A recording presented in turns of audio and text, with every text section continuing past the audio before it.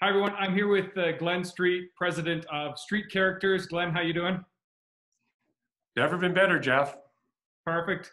Glenn, can you tell us a bit about your business and just kind of where things are at for you guys right now? Sure. Well, first of all, I'm founder and top dog of Street Characters. Um, we work with uh, businesses and colleges uh, all over the world creating their mascots for them. Uh, for example, the last three Super Bowls, at least we've had uh, uh, well the two of the three we've had both teams in it. Last year we just had one team in it. Um, you turn on your tv any weekend when sports is on and you're likely to see one of our characters. Uh, we've been in business for 33 years. Uh, 85% of what we do is export. We do very 2, per, 2 to 5% of what we do is alberta and we do very little in the rest of canada but most of what we do is export fact, what I tell the politicians is all we really do is import money. It's a good thing. And uh, so, how, how are you guys finding right now with with the COVID crisis going on? How has it impacted your business? Well, we are one of the lucky ones in that uh, we have been able to maintain operations. We send everybody at a desk home to work from home, and uh, our production team here uh, they were spread out enough in their workstations that we had to make some really minor modifications, but not a not a whole lot. A couple of things I did right right early on is uh, first thing I said to the team is if you're not feeling well, don't come to work. I'll pay you to stay home because the last thing I wanted is somebody who wasn't feeling good coming in here uh, and having COVID and sharing it with the rest of the team, and that would have been really devastating for us. So, in fact, we have one team member whose mother uh, is a flight attendant at WestJet, and on her last flight, she got COVID. Oh, and so uh, she and her daughter, our team member, wound up uh, uh quarantining for 14 days. And then when mom's quarantine was done, the daughter's 14 day quarantine started. It, it ends next week. And I'm paying her all the way through it. Um, you know, we're you for the second part, we're using some vacation time, and she had some banked hours and things like that. But she's getting full pay um, because I want the team to know that I've got their back and that they're supported. Nice. And and around the operations, you guys are obviously keeping things clean and everything because everybody's still in operation, right? You guys are still delivering product. We're still manufacturing stuff. It's not going out as quickly as usual. Uh, and that's because uh, some of the freight systems aren't working at full capacity right now. But we've got bottles of spray bottles with bleach and water in them all over the shop, and we're getting people to constantly be wiping stuff down. And you know, we've got uh, personal protection equipment. If two people have to get close together, they're both wearing N95 masks, for example. Uh, so we're we've got hand, hand sanitizer Lysol wipes, everything all over the shop. And I'm just saying, we've just got to be really uh, careful this period. Right. So, Glenn, I mean, you guys, you deal with a lot of pro sports teams that are all shut down now. So, are you concerned? Like, what do you, how, where do you see things in kind of 60 days from now or a year from now? How, how's it going to affect you guys? Well, we've got orders going into the summer, and we're still getting, uh, we're still making sales uh, we're still having people uh, call us up and place orders. So hmm. we're going to be good into the summer. I suspect it might slow down a little bit then, um, but I really don't know. You know, a lot of our clients are are colleges, and uh, you know, uh, a lot of them are, are government organizations, and and I think that their funding is going to is going to continue. And uh, um, you know, we're we're doing everything we can to keep the momentum going and and so far it's worked for us. Uh, I suppose if uh, if things got really bad, we'd be able to pivot and we'd be able to put people onto sewing, uh, you know, face masks and things like that. Uh, it's my intent to keep the team going no matter what, um, uh, because I want to it prove to them that they're in a great spot and that we're doing everything we can to take care of them. Well, you know, and I think that's awesome. I think that that optimism and and positivity is great. Um, so what advice would you have for other business leaders out there? I mean, that, that might be in a different spot, who might be on the verge of a, of a business shutting down or don't have any revenue. Just what advice would you have? Well, this isn't just for business owners. This is for everybody, employees and everybody. I know for a lot of you, you feel like this is the worst thing to ever happen. Let me assure you, it's not. This is the worst thing to happen in this generation. But in 1980, when I was starting my career, the federal government came out with the program called the National Energy Program. And it was far more devastating to Calgary than COVID has been. So picture overnight, the entire industry is told to shut down. And that's essentially what happened. In fact, you could go out and buy a house for a dollar down. People were saying, just give me a dollar, you can take over my mortgage and you can have my house. And there were no buyers. It was that bad. You know, and I look at my parents and worst period of time for them was the Second World War. And I look at their parents and they went through the Depression. So, you know, everybody goes through it. But, you know, if you think about it, I've given you three other examples when this has happened and everybody's come out of it fine. And when I look back to 1980 and what happened there, and I think about the people who did well, it was the people that didn't put their hands in the air and say, well, this is the way it's going to be. They say they ask themselves where are the opportunities now?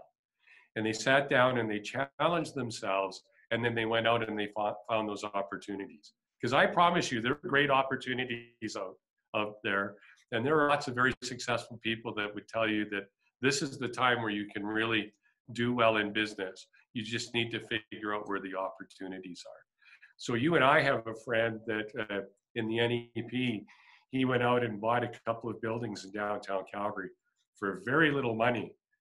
And I think probably 10 years later, he was in he was collecting a rent more than when he paid for those buildings.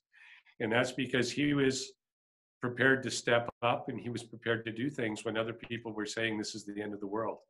I think Warren Buffett probably said it best, you know, be fearful when people are greedy and greedy when people are fearful. And right now, if you're willing to push through your fear and really sit down and challenge yourself and figure out where the opportunities are. I promise you, they're there.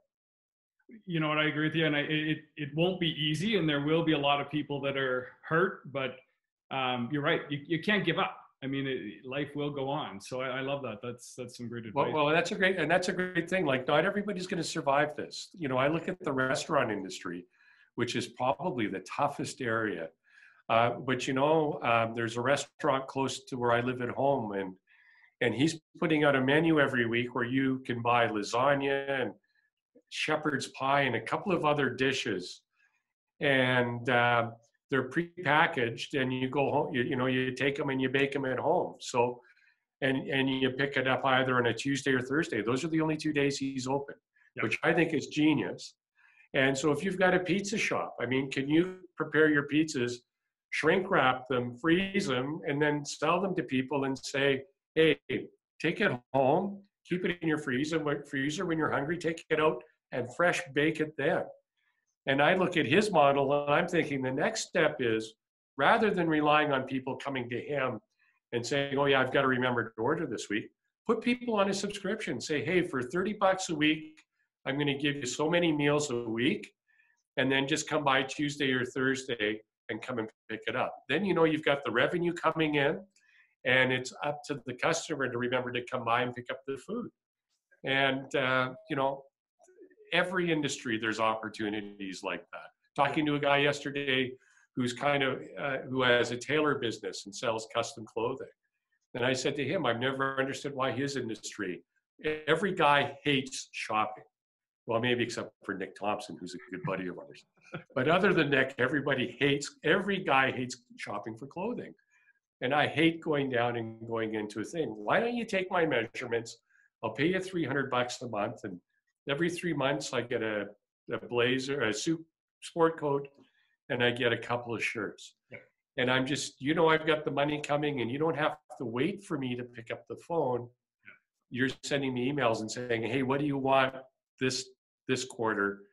Uh, what do you think? And here's some ideas I've got for you. The opportunities are out there. I promise you. You just you can't sit back and feel sorry for yourself and wait for them to come back for you. Agree more. Glenn, what are you doing yourself to, to deal with the downturn? I mean, with with the you know staying at home and the social distancing, what are you doing to take care of yourself? Well, I was uh, I, for years, have worked out three times a week uh, doing boot camp. Uh, you know, so that was probably the toughest thing for me to give up is not going to boot camp. So I've got a treadmill in my basement. I'm running 5K three times a week. I really believe that uh, that exercise is more important now than ever. Um, you know, we're under stress. It's a new stress. Um, you know, the worst stress you feel is the stress that you don't feel you have control of. And that's what I love about running a, my own business. Yes, there's more stress to it, but it's stress I get to control. But the stress right now is stress that's outside of a lot of our control. So number one thing is I, I'm making sure more than ever, I'm making sure that I'm exercising, getting my heart rate up. That's also important for me because I'm in the high risk category. Um, I have asthma and I've got to keep my lungs healthy, and exercise helps keep my lungs clear. Uh, I'm doing that. Um, Peggy and I don't have children, so that makes it a little bit easier. We, you know, she's got parents in High River who are elderly. We can't go see them. We're we're talking to them, but we're trying to keep things as normal as possible. And um, you know, it's all attitude. We've decided it is what it is. We're not trying to fight it. We're not lamenting it. We're just accepting it and living our lives uh, as best we can. Well, you know what? I, I couldn't agree more. Um, appreciate you taking the time, Glenn, and uh, good luck with everything. And uh, stay healthy. And uh, we'll definitely uh, stay in touch here. Yeah, and one more point, Jeff. You know, I made comments about restaurants and things like that. If you're an employee for a restaurant, those are things that you can do too. You can go to your boss who's scared right now, not sure how to how to make things work, and say, "Hey, I've got this idea." Or if you come up with an idea, other idea, I'm willing to donate my time right now to get this up and going. You're not doing anything anyway. And let's see if we can save this and if we can turn this around and we can make it better. So, you know, there's there's ideas out there and if you want to make it work, you'll figure out how to do it. And that's really my message is now you see who the real strong ones are who can, you know, don't sit around and feel sorry for themselves. Just get up there and get after it and figure out what the new normal is. You know, Glenn, because that, that is a great point because the fact when we say we're all in it together, it's not just the business owners and we can't just rely on the government to bail us out of this. This is everybody. This is the business owners, the employees, the government, everybody needs to come together. So I, I love that as well. Okay, Glenn, thank you, sir. Thanks, Jeff. Take care. Thank you.